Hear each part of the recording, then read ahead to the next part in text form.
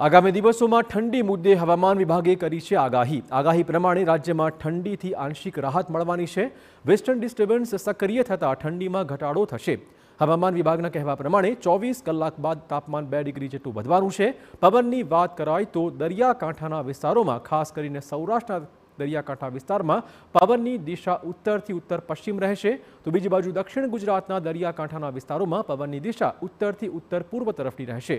આ તરફ વાત કરાય તો ગુજરાતના સૌથી ઠંડા શહેરની તો ગાંધીનગર રહ્યું અહીંયા તેર પોઈન્ટ ચાર ડિગ્રી તાપમાન નોંધાયું છે બીજી બાજુ વાત અમદાવાદની કરાય તો અમદાવાદમાં ચૌદ પોઈન્ટ સાત ડિગ્રી તાપમાન નોંધાયું છે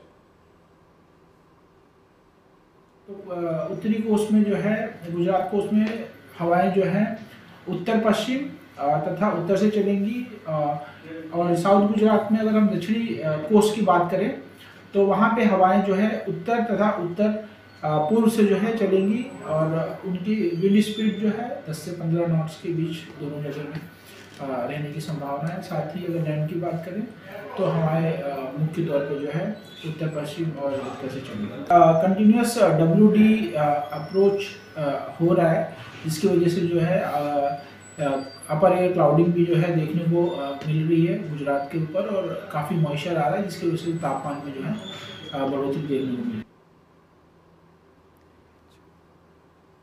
તો ઠંડીમાં આગામી બે દિવસમાં રાહત મળે તેવી પૂરેપૂરી શક્યતાઓ છે.